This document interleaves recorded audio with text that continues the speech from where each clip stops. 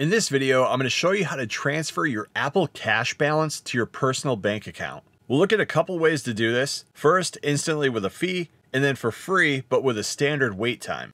To get started, find and then open the Wallet app on your iPhone. Here on the default wallet screen, you're going to see your Apple Cash card along with the balance that you currently have. If you have any other cards attached to your account, you're going to see those here too. Choose your Apple Cash card. After that, you'll then be taken to the Apple Cash screen. First, we want to link our bank account. This is going to be used so that we can make free transfers. Tap the three dots on the top right of the screen and then choose Card Details. Inside of the card details page, you're going to see bank account. Choose that. If you've never linked a bank account to your Apple account before, then here's where you're going to be able to do it. All you're going to need is your bank account and routing numbers. You can find those on a check if you have one, or if you're like me and you don't have any checks, you can log into your bank's website and then get it from there. Once you enter your account and routing numbers, then your bank account's going to be connected. Now that we have the account linked, let's transfer our money over from Apple Cash. Head back to the main Apple Cash card page. Again, tap the three dots on the top right of the page, but this time choose Transfer to Bank.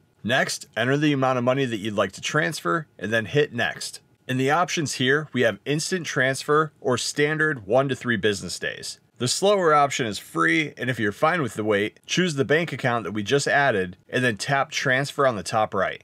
If you need the money right away though, and you're fine with the processing fee, choose Instant Transfer. If you've ever used your bank debit card with your Apple account in the past, then this is going to automatically be set up for you. If not though, it's going to prompt you to add a debit card when you choose this option. Make sure that you have your card attached, select it, and then again hit transfer. Instant transfers do have the fee, which is 1.5% of the total with a minimum of 25 cents and a maximum of $15. And most of the time, the transfer will be instant, but Apple does say in really rare occurrences, it could take up to a couple hours for the instant transfer to happen. And that's how you transfer your Apple Cash balance to your bank account.